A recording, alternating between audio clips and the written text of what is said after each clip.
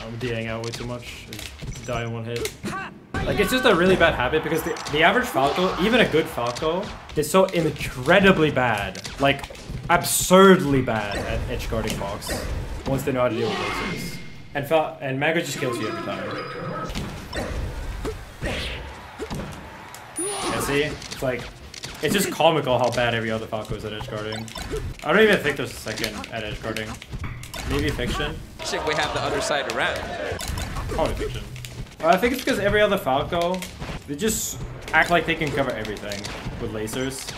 And they end up covering, like, nothing almost every time. Like, they're, they're like, so afraid to make a read that whatever they do, like, even when they do hit you, it just doesn't hurt. They're not getting you down or off